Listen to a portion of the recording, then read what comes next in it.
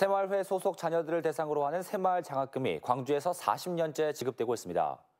혈세를 특정 단체 회원 자녀에게만 장학금으로 지급하며 특혜 논란을 빚어왔는데 중복 지급 의혹까지 제기됐습니다. 고우리 기자가 보도합니다.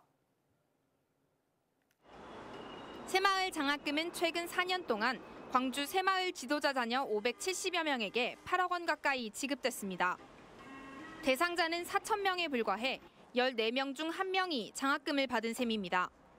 시민 전체가 대상인 빚고울 장학금 지급액이 같은 기간 8억 6천만 원인 것과 비교하면 수혜 확률이 84배가 넘습니다. 특혜 논란이 끊이지 않는 이유입니다. 그런데 이마저도 일부 특정 회원 자녀들에게 돌아갔다는 의혹을 받고 있습니다.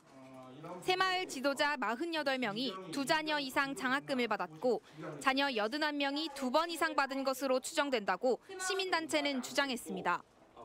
어, 광주시 같이 163만 원씩 지금 현재 광주에서 운영하고 있는 어떠한 장학금 규모보다 새마을 장학금에서 지급하고 있는 이 금액을 뛰어넘는 금액이 없습니다. 시민단체는 유신시대 잔재인 새마을회에 혈세를 투입해 장학금을 줄 이유가 없다고 주장하고 있습니다. 이들 시민단체는 새마을 장학금은 법적 근거가 없는 과도한 특혜라며 지원 조례 폐기를 강하게 촉구하고 나섰습니다.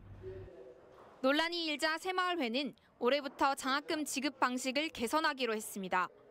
개인은 동등하게 가야 된다고 생각이 듭니다. 그냥 특정한 사람이 어, 작년에도 장학금을 받고 재작년에도 받고 2년 이내에 장학금 수혜를 받은 사람은 제외한다.